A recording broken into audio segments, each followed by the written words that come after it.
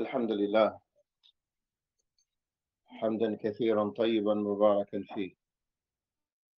كما يحب ربنا ويرضاه إخوتي في الله نحمد الله سبحانه وتعالى على نعمة هذه الأيام والليالي We thank Allah subhanahu wa ta'ala for the ni'mah of these days and these nights that we are in. أنتم يا إخوتي في الله حياكم الله. وآتاكم من فضله. أنتم ضيوف في بيت الله. You all are guests in the house of Allah subhanahu wa ta'ala ونحن أئمة المساجد شأننا تعليمكم. فحياكم الله. أسأل الله سبحانه وتعالى يعيننا على وظيفتنا. Our position here, Imam of the Masjid, is to teach you your religion. Ask Allah subhanahu wa ta'ala to aid us on that. وحاجتك إلى العلم يا أخي في الله أشد وأكبر من حاجتك إلى طعام والشراب. Your need to know about Islam and to know about Allah subhanahu wa ta'ala and your need to know about the reasons to get into Jannah and stay away from the hellfire is more than your need for food and drink. أن تحتاج إلى طعام وشراب ممكن ثلاث مرات خليها أربع. Maybe you need food and drink four or three times a day. ولكن العلم على قدر أنفاسك. You need knowledge as long as you breathe. You go in the masjid, you come out the masjid, you go in the street, you go in the store, you go everywhere. نعم. وبدأنا في هذا الشهر المبارك نتعرف على ربنا سبحانه وتعالى هذا من أوجب العلوم الأوجب على الإطلاق We started this month learning about our Lord subhanahu wa ta'ala is the most important thing that we must know نعم ولا سبيل إلى ذلك إلا بمعرفة أسماء الله وصفاته There's no way us for us to do that, to know our Lord, except by knowing his names and his descriptions.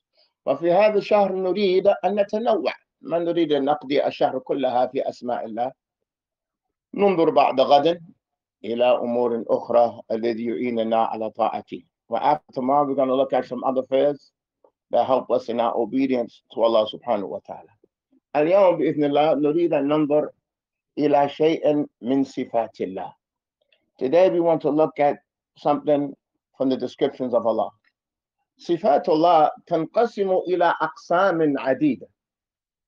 The descriptions of Allah they divide into different sections. نعم ننظر إلى واحد علينا.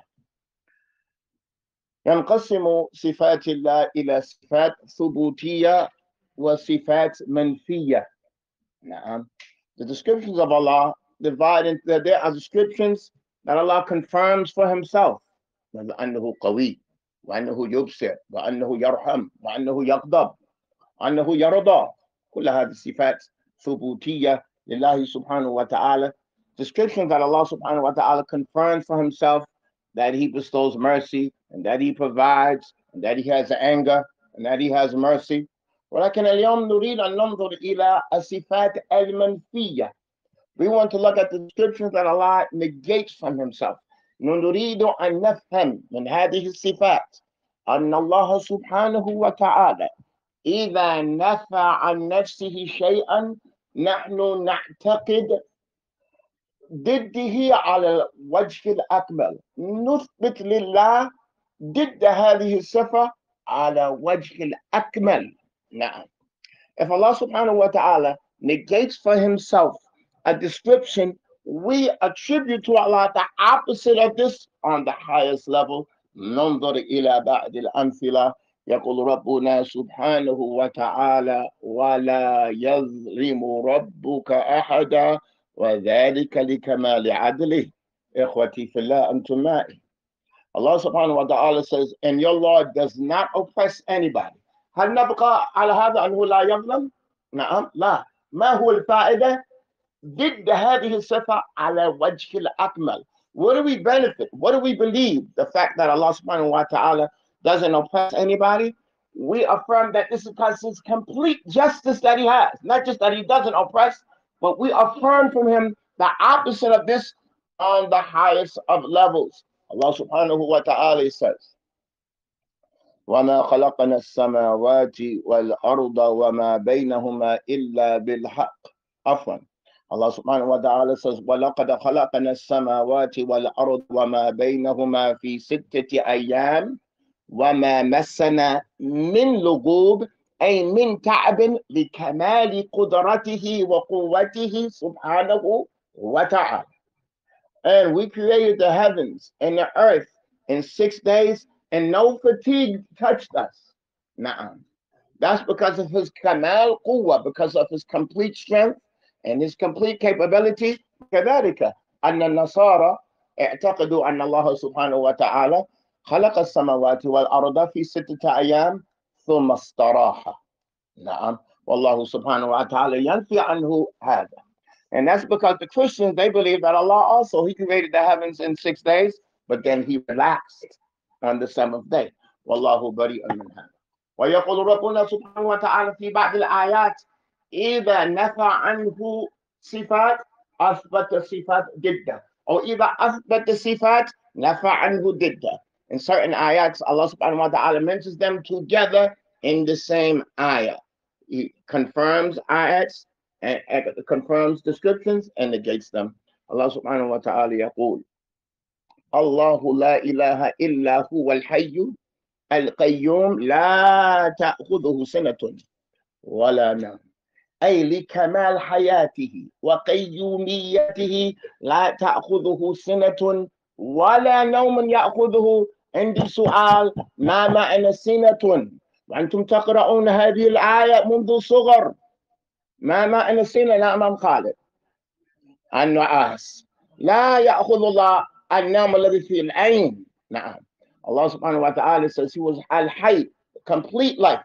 القيوم. القيوم الذي يقوم بنفسه ويقوم غيره به سبحانه وتعالى لكمال قيوميته no sleep befalls him not in his eye or him totally further in this ayat Allah subhanahu wa ta'ala says wasi'a kursiyuhu as-samawati wal ard أي كرسيه أحاط السماوات والأرض ما هو الكرسي من يجيب تقرؤون هذه الآية الكرسي موضع قدمي الرحمن.